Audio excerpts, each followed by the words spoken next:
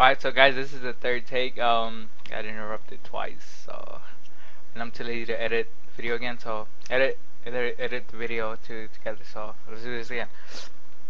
So you want to overclock a card. Uh, I'm using a GTX 580. Um, settings differ from every single card. Um, I'm pretty sure you can overclock the 6000 series with this.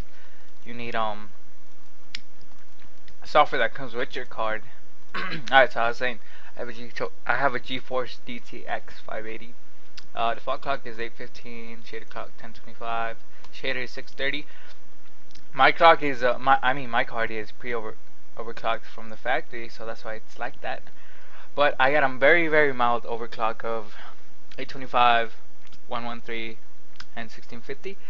Um, yeah, um, using um stock cooling. Uh, fan speed is 46. Average temperatures idle at 40 C's. Um, under load it's at like 40. It's like at 80. With uh, the fan never goes over like 80%. Actually, I've never seen it go to 80%. I think the highest is like 70. So yeah. Um, what you want to do is uh, download MSI Afterburner. Just Google it and download it. Right here, um, run it as an administrator. So right here, uh, for the GTX 580, safe core is um, core voltage is 1.2. After that, uh, or right here, 1,200, eh, whatever. Um, after that, you don't want to go past that. Um, there's a chance you might fry your card too much of voltage. So 1.2. Um, and don't go don't go lower than 1.0. Uh, too low. Yeah.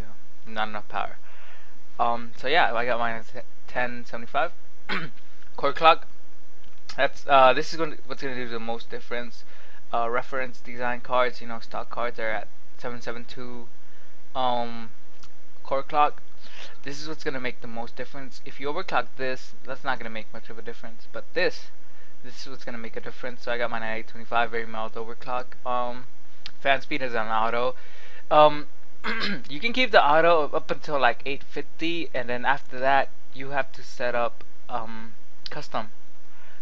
Because um the way this works the the fan the automatic fan speed it works very slowly like um to, to for the spat for the to automatically for the fan to speed up it takes a long time so I wouldn't risk that. Um if you go after um if you go after a core clock of 890 I would recommend to set this uh, at 100% no less no more and because there's a chance your card will get too hot um right here the safe degrees under load under load. That's not idle. If it, if your computer's uh hold up. Safe safe temperature is at 90 C's maybe a little bit more.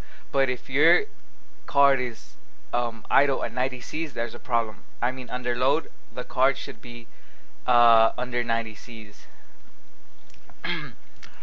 so yeah uh, this is for stock cooling um, fan speed. If you go uh, after 890 gotta set it to 100% and then you could even go higher but not all cards overclock equally so um, uh, you gotta after like a certain point I, I say 890 you gotta gotta overclock like 895 and then and then 900 like that and then um after every overclock, I uh, I recommend you stress stress test.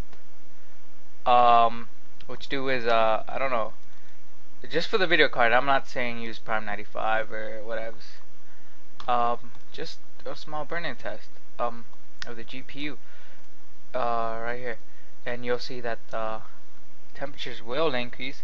Right here is at 58 T. It's increasing rapidly, and this is what I'm talking about the fan speed. But you, the the temperatures are increasing fast and fan speeds like not even picking up. That's what uh, I'm saying. So safe temps don't go over 90 um my temperatures never seem to go over like 85 and that's pretty good. Um yeah. Um anyway I'm not responsible for anything you do to your card. Uh, just saying that. And um, yeah if you want to overclock like a 560 uh, cards that overclock it are like a 560 a 560 Ti 575 80 and 590. Um, uh, just Google up uh, the settings. Uh, uh, max uh, core clock, max max voltage, and safe temperatures, and you're good to go. Just change it with MSI Afterburner, and you know stress test it just to be on the safe side. And that's how you properly overclock a card.